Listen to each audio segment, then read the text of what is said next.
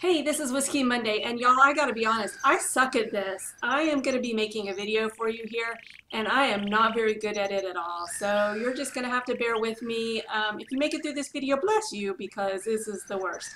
So the reason I'm making this video, this is my own home that I'm showing you here, but the reason I'm making this video is because I'm going to be featuring the home of an artist in Second Life, Upolino Sugujin, and I love his home. It's not traditional though, and so uh, photographs don't work. Photographs don't show his plays, and so I'm going to have to video it. And I've been trying to learn how to video. So far, the only video that I've done is Drunken Second Life, which didn't teach me anything because I don't remember it. It didn't help you guys because it was sucky. So here I am sober in Second Life in my home and hoping that I can actually video.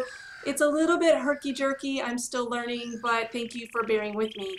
Um, I just moved into this house and just got finished setting it up. I would say that it's finished. However, it's not. They never are. I don't know about you, but in my Second Life home, I am constantly changing and tweaking and adding new things. Designers are constantly adding new things, and so I am always making room for something new or different or changing things out. Um, and so I never think of a Second Life home as finished. Uh, but this one is finished enough to show it, and so I'm very, very happy with it. I should start out with the build, I think. This is a build from Scarlet Creative, and I have a bazillion builds in my, um, a, bazillion houses in my inventory, and I go through them all. When, when I get ready to set out a house, I sit here and rez every single house that I own and try to figure out what do I want? What am I in the mood for? What do I like in a house? Um, and I'm super happy with this one. I don't tend to change houses very often. Um, I change out the inside of the house quite a bit, but I'll stick with this build, build for a long time. One thing I want to tell you is I modded the hell out of this house. This is not what it looks like rezzed from the box, so your Catskills Lodge from uh, Scarlet Creative will not look like mine. I pulled this wall off um, to start with because I like to have open spaces in Second Life. I mean, hell, it's not like I'm going to be in the weather. Um, and so I really, really like a water view. And so I spend a lot of time here just staring out at the water. Um, and so I really like this open wall. I pulled um, a lot of different things out of this house and changed a lot of textures. But anyway, so that's the build. Um, and then the inside stuff is just a bunch of little things that I have collected um, and, and, and found over the years. One of the things that I do want to point out, this is a a painting that's actually a real life painting that my daughter did, my real life daughter in the real world. Her name is Pippin, and this is a painting by Pippin. She gave me permission to bring this piece into Second Life. You need to be smart about copyright if you're going to be bringing anything into Second Life that you didn't create yourself. Um, I have brought a few things into Second Life that I didn't create myself, but because I'm not selling them, I'm using them for my own personal use um, in sort of a one-time use. I'm fudging copyright a little bit. But this is another piece here. I do want to point this piece out. This is by a Second Life artist. It's a real life piece by Michael Monk, whose work you might have seen in Second Life. Um, and so as I kind of move through the space, this is also one more I'll show you. Uh, Pippin, again, did a painting of Georgia O'Keeffe for me that I have in my real life house. And so now I also have it in my Second Life house because Georgia is a favorite. Um, but anyway, so I tend to match my second lifestyle and my real lifestyle. We um, are very much the same. I match my avatar after me and I match my home after my real life home. However, it may be um, is my real life home uh, if I lived on the water. My In the real world, I live in the mountains.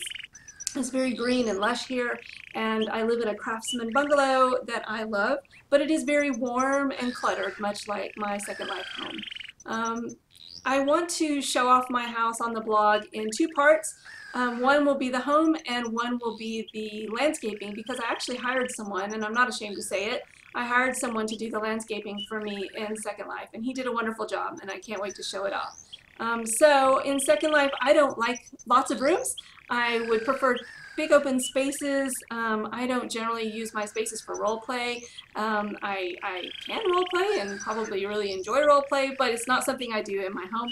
And so I'm not looking for a bathroom or um, or a kitchen space in Second Life. I don't want dishes or dumps in my Second Life. And so I generally just have bedroom, desk area, I have an office, um, and a living area. Um, and generally, I spend most of my time here.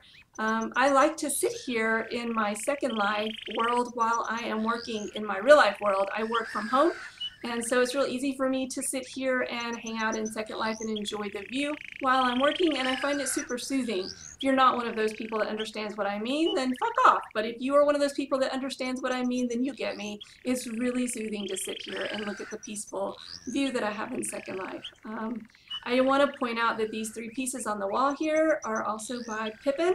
In the real world, they're lovely paintings in the real world. Um, but anyway, here is my desk. In the real world, I'm actually sitting at my real world desk, which is not that neat. Um, I collect tiny birds in the real world, real world, and they're all over my house. And in Second Life, I collect tiny birds as well. Um, and so I really just wanted to see if this was something I could do. Can I make a video without completely screwing it up? So far, I think it's a little herky-jerky, it's a little weird, but I don't know, if I made you really crazy dizzy, um, this is my home and I'm really happy to show it off. I hope that I've not made you puke. Thanks for hanging with me while I show you my second life.